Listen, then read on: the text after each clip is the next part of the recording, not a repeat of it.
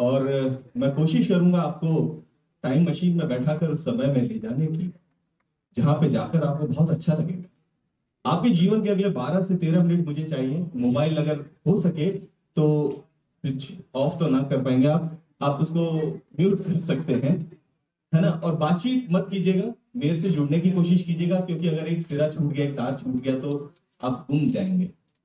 तो घूमिएगा नहीं। और एक कहानी जो मेरे बचपन का किस्सा है हकीकत है, वो आप लोगों तक लेकर आ रहा हूँ, सुनिएगा। कहानी का शीर्षक है, बेरों वाली शबरी। शबरी के बेर आपने सुने होंगे, ये बेरों वाली शबरी है। बचपन।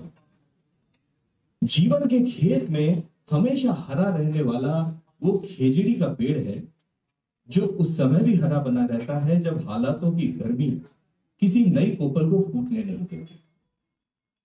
एक ऐसी अमूल्य और सर्व प्रतीक्षित चाह, जिसे उसके वर्तमान से ज़्यादा भूतकाल में जिया जाता है। मधुर यादों का ऐसा गुलदस्ता, जिसके अंदर सुंदर फूल सजे होते हैं। अलग अलग रंग और अलग अलग खुशबुओं के फूल, यादों के फूल। हर एक फूल अपने आप में अलग रंग और महक से भरा, जिन पर मन का भवरा डोल डोल कर मुस्कुराहटों का शहद इकट्ठा किया करता है। इन यादों के पुष्प पर या यादों के फूलों पर कभी कभी नैनों की ओस गिर पड़ती है। और रोमांचित कर देने वाली एक सिहरन शरीर तो अचानक उस मायावी काल से आज के आयाम में लाकर खड़ा कर देती मायावी काल। हाँ। यदि वह मायावी काल नहीं था तो क्यों अब भी हमें बचपन की कुछ घटनाएँ घटित हो चुकने के बाद भी असंभव सी लगती है?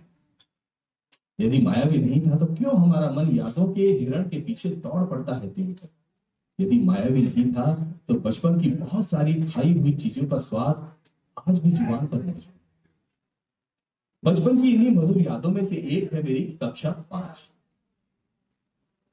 वीर बालक विद्या निकेतन स्कूल में मेरा दाखिला, मेरे माता पिता की अपने बच्चों के स्कूल हर साल बदलवाने की अजीब सी नीति के कारण हालाँकि बहुधा स्कूल बदलवाने का कारण अड़ोस पड़ोस की महिलाएँ हुआ करती थी, जो मेरी माता जी को उन स्कूलों की अजीब सी तारीफें किया करती और ये तारीफ़ सुनकर मेरी माता जी मेरा भविष्य सुंदर और सुनिश्चित बनाने के लिए प्रत्येक स्कूल के सर्वश्रेष्ठ अध्यापक से मुझे शिक्षा दिलवाना चाहती थी।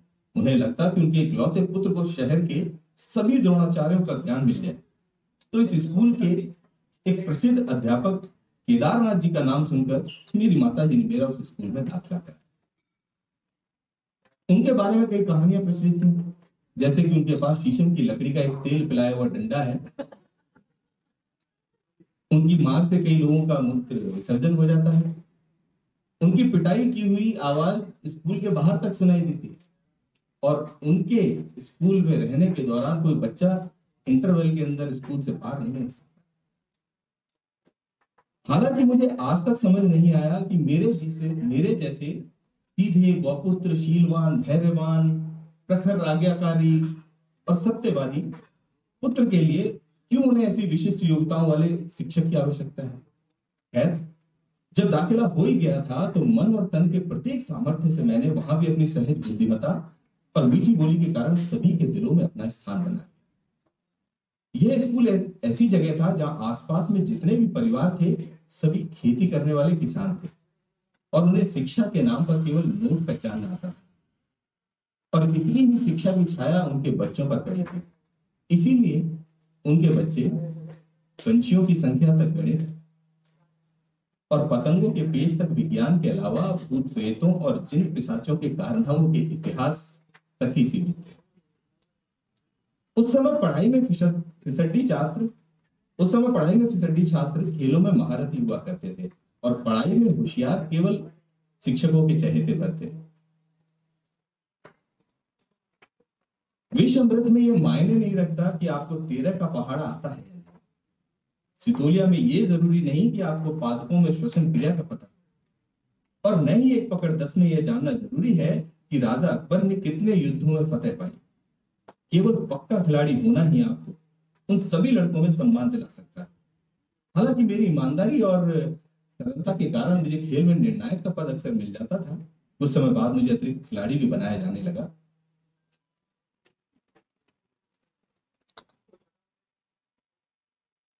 तो हमारे स्कूल की एक खास बात और थी कि हर कमरे में दो कक्षाएँ एक साथ चला करती थी, जैसे तीसरी और चौथी, पांचवी और छठी, सातवीं और आठवीं। और मेरी कक्षा में उस समय शायद कुल पंद्रह या सोलह बच्चे पढ़ते थे, जिसमें से पाँच लड़कियाँ थी और लड़कियों के खेल बड़े विचित्र हुआ करते थे, जैसे बैलदून पत्थर के गुट्टे, पोषण पा या फिर अंताक्षरी। और इन सब में सबसे अलग लंगड़ी टांग एक ऐसा खेल था, जिसे लड़के और लड़कियाँ मिलजुल कर खेल सकते थे। बचपन का वह समय दिमाग के उस केमिकल से अछूता होता है जो बच्चों को आपस में लड़का और लड़की के बीच में फ़र्क बताता है। लिंग भेद से अनजान हम सब मिलकर खेलते और झगड़ते थे। इन लड़कियों में अनीता नाम की एक लड़की थी, जो मुझसे कुछ ज़्यादा बातचीत किया करती थी। कभी पढ़ाई को लेकर और कभी कुछ पहेलियों को लेकर, कभी हम लोग कुल्फी से निकली सरकंडे की डंडियों में रिफिल लगाकर नए पैन बनाते तो कभी केवल बाकी लोगों को खेलते हुए देखते। कुछ दिनों बाद राखी का त्योहार आया। और छुट्टी वाले दिन से एक दिन पहले कक्षा की लड़कियाँ राखियाँ लेकर आई। पाँच लड़कियाँ थी। और सबसे पहले अनिता ने मुझे राखी बांधी और फिर बाकी लड़कियों ने। मैं बहुत स्पेशल फील कर रहा था। बाकी लड़कों को अपना हाथ दिखा रहा था जिन्हें किसी ने राखी नहीं बांधी। एक दिन इंटरवल होते ही उसने मुझसे कहा कि तुम्हें एक मज़ेदार जगह बताओ मैंने तुरंत हम भी भर दी उसने हमारा टिफ़िन वापस बैग में रखा और मुझे हाथ पकड़कर चुपचाप नीचे स्कूल से बाहर ले गई। धीरे से मेरे कान में कहा, किसी को कुछ भी मत बताना। कहाँ जा रहे हैं? और हम स्कूल की गली से बाहर निकलकर सड़क पार करते हुए थोड़ी सी दूर पर बने एक खाली प्लॉट में पहुँचे। ये प्लॉट तीन ओर से मकानों से घिरा था और इसमें बेहद खूबसूरत, बहुत बड़ा बेर का पेड़ लगा। मैंने अपने जीवन में उतना घना और बेरों से भरा हुआ पेड़ कभी नहीं देखा। पीले पीले सुंदर गोल बेर यूँ लग रहे थे जैसे दीपावली के समय छत पर लगाने वाली झालर को कोई दिन में उस पेड़ पर रख गया उस विशाल पेड़ की हवा से हिलती डालियाँ यूँ लग रहा था मानो अपने दोनों हाथ खोलकर हमें आने का निमंत्रण दे रही हम दोनों पर दीवार बाँध कर अंदर चले गए। दोपहर होने के कारण आसपास के घरों के लोग सो रहे थे। अनीता जल्दी से नीचे झड़कर गिरे सही सही बेर उठाकर अपनी स्कर्ट से पहुंचकर रुमाल में रखने लगी।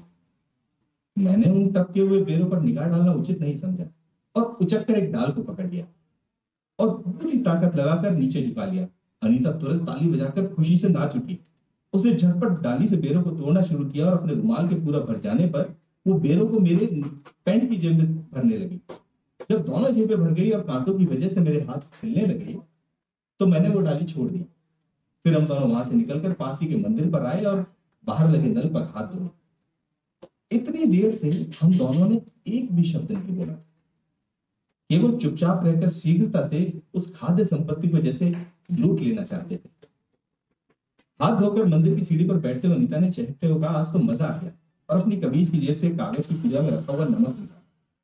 मैंने बेर की दावत का आरंभ करते उससे पूछा, तुम्हें जगह कैसे पता चली? तो उसने बताया कि उसकी मम्मी यहाँ पास ही के एक घर में एक आंटी से मिलने आती है।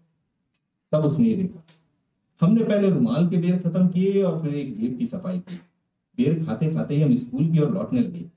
अनीता बीच बीच में बेर खाकर ज़ोर से चटकारे लेती तो मेरी हँसी निकल जाती। और मुझे हँसते देखकर वो चेप कर शर्मा जाती। हम दोनों बड़ी सफ़ाई से खेलते हुए बच्चों की नज़र बचाकर क्लासरूम में पहुँचे और झटपट अपना टिफ़िन जितना खा सकते थे खा लिया। बच्चों में किसी अद्भुत चीज़ को या किसी राज को छुपाकर रखने का एक अलग आनंद हुआ करता। वैसा ही गुदगुदाता हुआ हर्ष हमारे अंदर हिलोर ले रहा था। कक्षा के हमने बाकी के बेर सबकी निगाहों से बचाकर मुस्कुरा मुस्कुरा कर कैसे खाए मैं आप लोगों को शब्दों में नहीं बता सकता। अब लगभग हम लोग रोज़ाना ही उस बेर के पेड़ वाले प्लॉट में जाने लगे और जम की बेर खाने लगे। डालियों को कई प्रकार के उपाय करके नीचे झुकाने और संभल कर पकड़े रहने का काम मेरा हुआ करता और बेरों को तोड़कर इकट्ठा करने का काम अनीता का। स्त्रियों में त्याग, करुणा और दूसरों के कष्ट से द्रवित हो जाने का गुण शायद जन्म जाता होता है।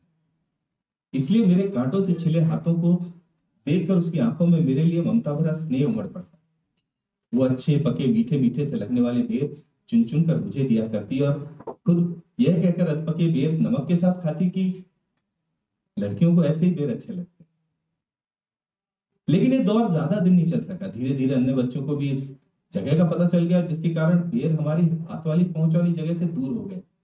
क्योंकि अब हमें पेड़ से तोड़कर खाए बेरों का स्वाद पता था तो मन ज़मीन पर मिट्टी में गिरे बेरों को खाने की गवाही नहीं देता था। और वैसे भी बेरों का मौसम जाने वाला था और हम दोनों इंटरवल में अपने अपने खेल खेलने लगे। जैसा कि मैंने पहले बताया, मैं पढ़ने में होशियार था, यानी कि अंधों में काना राजा। तो अक्सर हिंदी की कक्षा में सर हमें ब्लैक बोर्ड पर बुलाकर कठिन शब्द लिखवाया करते। और जो विद्यार्थी नहीं लिख पाता, उसे अपनी जगह पर खड़ा कर दिया जाता और जो एकदम सही लिख लेता, उसे उन सभी बच्चों के गाल पर थप्पड़ मारने का सौभाग्य प्राप्त होता। और बहुधा यह सौभाग्य मेरे ही हिस्से आता। हालाँकि शुरुआत में कुछ दिन तक मुझे किसी को भी थप्पड़ मारना अच्छा नहीं लगता था, क्योंकि ज़्यादातर बच्चे कद और उम्र दोनों में मुझसे बड़े थे। लेकिन धीरे धीरे उनके चेहरे से झलकने वाली ढीठ पने को देखकर मेरी झिझक भी जाती रही और मेरे थप्पड़ थपकी की बाल्यावस्था छोड़कर तमाचे की जवानी में कदम रख चुके। लड़कियों पर मेरा हाथ अभी भी थोड़ा हल्का ही पड़ता था, जबकि हमारे अध्यापक की तरफ़ से लड़कियों को किसी तरह की रियायत देने के आदेश नहीं थे। लेकिन ऐसे ही एक दिन की बात है, दोनों पांचवी और छठी कक्षाओं को मिलाकर तकरीबन सात लड़के और चार लड़कियाँ कुछ कठिन शब्दों को लिखने में नाकाम रहे। फिर सर ने मेरी ओर देखा। मैं हल्की सी मुस्कुराहट चेहरे पर लिए अपनी जगह से उठा और एक ठसक भरी अकड़ के साथ चलता हुआ ब्लैक बोर्ड तक आया। यूँ लग रहा था जैसे द्रौपदी के स्वयंवर में असफल महारथियों के झुके हुए मस्तकों को अपनी योग्यता और सामर्थ्य के दम से रोनता हुआ स्वयं साक्षात अर्जुन मत्स्य विधन को जा रहा तुरंत शब्दों को सही लिखते हुए मैंने गर्व भरी निगाह से पहले सर की ओर देखा।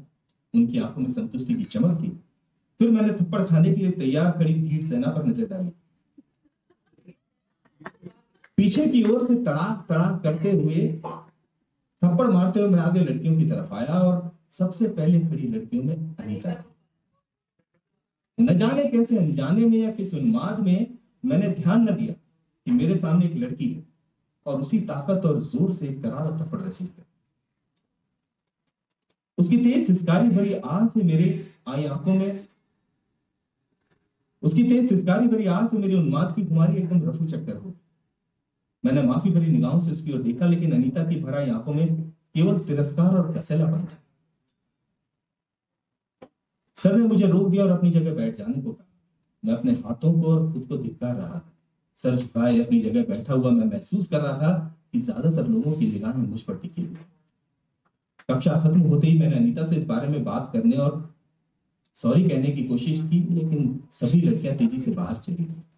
मुझे वो सॉरी कहने का मौका कभी नहीं मिला। हालाँकि सभी बाकी लड़कियों से बातचीत कुछ समय बाद शुरू हो गई थी, पर अनीता ने मुझसे कभी बात नहीं सर्दियों के दिन थे और अर्धवार्षिक परीक्षाएँ खत्म हो गई थी और उसके बाद की छुट्टियाँ भी। बहुत सारे लड़के और लड़कियाँ मिलकर इंटरवल में लंगड़ी टांग खेल रहे मैं भी अपना टिफ़िन खत्म कर उसमें शामिल हो गया। थोड़ी देर बाद मेरा दावा और मैं एक टांग से भाग भाग कर सबको आउट करने लगा। अनीता भी खेल रही थी। मैं उसको आउट करने के लिए बार बार कोशिश कर रहा था, पर वो अपनी फुर्ती और चतुराई से हर बार बच जाती थी। आखिर एक कोने में मैंने उसे पकड़ने के लिए एकदम से दाव मारा, पर उसे तो नहीं पकड़ पाया। उसकी शर्ट का कॉलर मेरे हाथ में आ गया।